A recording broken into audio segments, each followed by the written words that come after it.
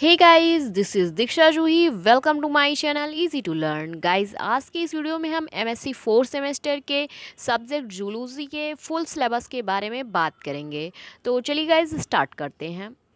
guys MSc के fourth semester में भी टोटल चार पेपर होते हैं जिसमें पहला पेपर है comparative anatomy and molecular endocrinology और गाइज पेपर सेकेंड है economic zoology and wild life guys जो पेपर थर्ड है वो स्पेशल पेपर है जो कि तीन पार्ट्स में डिवाइडेड है और इन तीनों में से हमें एक चूज़ करना होता है जैसा कि हमने सेमेस्टर थर्ड में चूज़ किया होता है तो पहला है fishery biology taxonomy and ecology of pisces दूसरा है entomology ecology evolution and taxonomy और तीसरा है cell biology cellular organisation and fundamental processes cell structure paper four भी गाइज स्पेशल पेपर है इसमें भी तीन पार्ट्स हैं तीनों में से हमें एक चूज़ करना है जो कि हमने थर्ड सेमेस्टर में चूज़ किया है जिसमें पहला है फिशरी बायोलॉजी अप्लाइड इक्टियोलॉजी दूसरा है economic entomology beneficial and harmful insects insect pest management और तीसरा है cell regulations cell communication and differentiation guys ये टोटल चार पेपर होते हैं और चारों ही हंड्रेड हंड्रेड मार्क्स के होते हैं एडिशनल में हंड्रेड मार्क्स का प्रैक्टिकल भी होता है गाइज तो ओवरऑल जो M S C fourth semester होता है वो भी फाइव हंड्रेड मार्क्स का होता है तो चलिए अब देखते हैं पेपर फर्स्ट जो कि है comparative anatomy of vertebrates and molecular endocrinology ये पेपर गाइज चार यूनिट्स में डिवाइडेड है जिसमें पहला यूनिट में हमें पढ़ाई करनी है comparative anatomy of the following system of vertebrates integumentary system digestive system respiratory system skeletal system circulatory system excretory system reproductive system और यूनिट सेकेंड में पढ़ाई करनी है definition and scope of endocrinology historical and anatomical aspects of mammalian endocrine system definition of a hormone chemical nature of mammalian hormones types of hormone receptors secondary messenger system general mechanism of peptide and non-peptide hormones actions feedback regulation of endocrine system unit third में हमें पढ़ाई करनी है the endocrines of hypothalamus hypophysiotropic hormones neurovasculars hypothesis pituitary gland hormones chemistry and biochemistry chemical functions pineal gland hormones chemistry biochemical functions mechanism of function thyroid parathyroid glands biochemical functions unit four में हमें पढ़ाई करनी है adrenal gland hormones of adrenal glands chemistry mechanism of action biochemical functions pancreas insulin glucagon, chemistry, biochemical functions, mechanism of action, somatostatin, hormones involved in calcium, metabolic chemistry, mechanism of action, neurohormones, the brain, renin, antigotenins, urotensins, neuropeptides, hormone of female and male reproductive system ovarian steroid hormones chemistry biosynthesis and transport synthesis chemistry and metabolic of androgens dynamics of steroid hormone production and metabolism me mechanism of action of sex steroid hormones testicular and ovarian determining genes Mullerian inhibiting substances genes molecular basis of male and female contraception guys नीचे कुछ suggested books दी हुई हैं अगर आपको इसमें से कोई भी बुक बाई करनी है तो आप इसका स्क्रीनशॉट ले लीजिए और बुक स्टॉल से बाई कर सकते हैं तो चलिए गाइज नेक्स्ट अब हम देखेंगे पेपर सेकेंड के बारे में जो कि है economic zoology and wild life guys ये पेपर भी चार यूनिट्स में डिवाइडेड है जिसमें पहले यूनिट में हमें पढ़ाई करनी है prawn culture fish culture pearl culture apiculture sericulture unit second में हमें पढ़ाई करनी है poultry and lac culture leather industry pharmaceuticals from animals white revolution composting and vermicomposting requirements of vermicomposting and vermiculture choice of species composting species unit third में हमें पढ़ाई करनी है general study of wild life endangered wild animal species wild life conservation programmes conservation of the एसियंथ lion project tiger project crocodile project hangul project elephant unit four में पढ़ाई करनी है wild life sanctuaries national parks and biosphere reserves major organisations concern with wild life conservation and their activities and programmes wild life eco ecotourism management guys नीचे कुछ suggested books दी हुई हैं ये सारी बेस्ट बुक्स हैं अगर आप चाहें तो इसका स्क्रीनशॉट ले लीजिए और बुक स्टॉल से बाय कर लीजिए तो चलिए गाइज अब देखते हैं पेपर थर्ड गाइज मैंने वीडियो की स्टार्टिंग में ही बताया था कि पेपर थर्ड तीन पार्ट्स में डिवाइडेड है और इन तीनों में से हमें एक ही चूज़ करना है वो भी सेमेस्टर थर्ड के बेसिस पे तो चलिए देखते हैं पहला पार्ट क्या है fishery biology taxonomy and ecology of pisces ये गाइस चार यूनिट्स में डिवाइडेड है जिसमें यूनिट फर्स्ट है taxonomy of fishes up to orders detail taxonomic study of fishes of Uttar Pradesh and Bihar unit second में हमें पढ़ाई करनी है adaptations of to different modes of life with special reference to hill stream and deep sea fishes unit third में हमें पढ़ाई करनी है relationship between fishes and their abiotic and biotic environment abiotic factors density and pressure temperature salt constants in water light sound electric currents bottom deposits and particles suspended in water biotic factors interspecific inter relationship एवं fishes with other organism intraspecific inter relationship एवं fishes and with outer organism unit four में हमें पढ़ाई करनी है guys pollutants affecting fishery waters with special reference to oil spills domestic pollutants industrial water radioactive wastes sewage fed fisheries planktons in relations to fish production guys नीचे कुछ suggested books दी हुई हैं आप इसके थ्रू कुछ अच्छी बुक्स बाई कर सकते हैं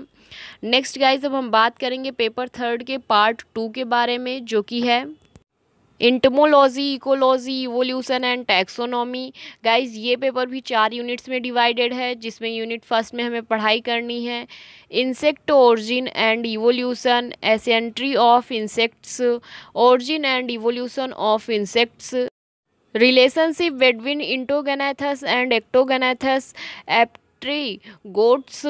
unit second में हमें पढ़ाई करनी है insects and abiotic environment effect of temperature moisture and light on insect population insect plant interactions plant and insect herby relationship primary and secondary metabolic plant products unit third में हमें पढ़ाई करनी है host selection by insects chemical defence in plants allocations of protective chemicals primary role of toxic chemicals response of insects to chemical defence temporal avoidance of chemical semio semiochemicals unit four में guys हमें पढ़ाई करनी है outline classification of insect characters classifications and examples of of following taxa guys नीचे कुछ taxa दी हुई हैं इसके हमें इन इंसेक्ट्स के हमें कैरेक्टर्स क्लासिफिकेशंस और एग्ज़ाम्पल्स लिखने हैं तो गाइज़ ये अगर पढ़ती हूँ तो बहुत ज़्यादा हो जाएगा मैं आपको इसको स्क्रीन पे ला के दिखा दे रही हूँ आप इसका स्क्रीन शॉट ले लीजिएगा प्लीज़ और थोड़ी मेहनत खुद से कर लीजिएगा प्लीज़ गाइज़ क्योंकि अगर मैं बोलती हूँ तो वीडियो बहुत लंबा हो जाएगा गाइज नीचे कुछ सजेस्टेड बुक्स दी हुई हैं जिनका स्क्रीनशॉट आप ले सकते हैं और बेस्ट बुक्स मार्केट से बाई कर सकते हैं नेक्स्ट गाइज अब हम बात करेंगे पेपर थर्ड के ही पार्ट थर्ड के बारे में जो कि है cell biology cellular organisation and fundamental processes guys ये पेपर भी चार यूनिट्स में डिवाइडेड है जिसमें यूनिट फर्स्ट में हमें पढ़ाई करनी है the nucleus the nuclear envelope and traffic between the nucleus and cytoplasm internal organization of the nucleus the nucleotides plasma membrane structure and chemical composition movement of substances across the membrane unit second में हमें पढ़ाई करनी है guys protein sorting and transport endoplasmic reticulum the endoplasmic reticulum and protein secretion the smooth E R and lipid synthesis export of protein and lipids from the E R the Golgi apparatus, organization of the Golgi protein, glycosylation within the Golgi lipid and polysaccharide metabolism in the Golgi protein, shortening and export from the Golgi apparatus, lysosome ultrastructure lysosomal acid hydrolase endocytosis and lysosome formation phagocytosis autophagosis unit third में हमें पढ़ाई करनी है bioenergetics and metabolism mitochondria organisation and function mechanism of oxidative phosphorylation pro topoisomers function of peroxisomes ultrastructure and function of ribosome unit four में हमें पढ़ाई करनी है chromosome morphodynamic and achromatic apparatus in cell division physiology of a dividing cell apoptosis and natural cell death guys नीचे कुछ suggested books दी हुई हैं ये बेस्ट बुक्स हैं आप चाहें तो इसे बुक स्टॉल से बाई कर सकते हैं नेक्स्ट गाइस अब हम बात करेंगे पेपर फोर के बारे में गाइस पहले ही मैंने बताया है कि पेपर फोर भी तीन पार्ट्स में डिवाइडेड है और तीन तीनों में से हमें एक चूज़ करना है जो कि हमने थर्ड सेमेस्टर में चूज़ किया हो उसी के बेसिस पे तो पहला पार्ट है फिशरी बायोलॉजी अप्लाइड इक्थियोलॉजी ये पार्ट गाइस चार यूनिट्स में डिवाइडेड है जिसमें यूनिट फर्स्ट में हमें पढ़ाई करनी है marine water estuaries reservoirs and cold water fisheries of India unit second में हमें पढ़ाई करनी है fish culture nutritional requirements of carps siluroids and mullets carp cultivation in India spawning collection hatcheries rearing stocking transport and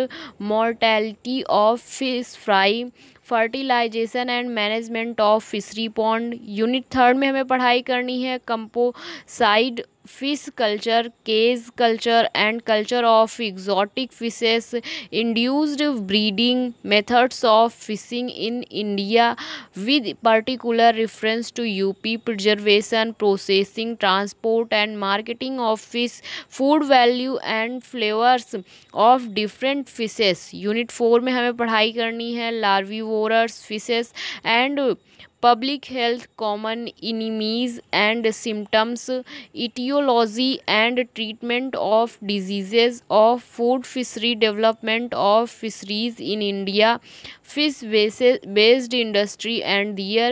bioproducts guys नीचे कुछ suggested books दी हुई हैं आप इनमें से कोई भी बेस्ट बुक बाय कर सकते हैं आप इसका स्क्रीनशॉट ले लीजिए नेक्स्ट गाइज अब हम पेपर सेकंड के ही पार्ट सेकंड के बारे में बात करेंगे जो कि है economic entomology beneficial and harmful insect insects insect pest management guys ये पेपर भी चार यूनिट्स में डिवाइडेड है जिसमें यूनिट फर्स्ट में हमें पढ़ाई करनी है beneficial insects biology of beneficial insects Apis Bombyx Kerria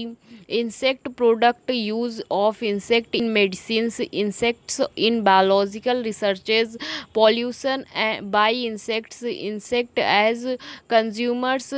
scavengers and as a food forensic entomology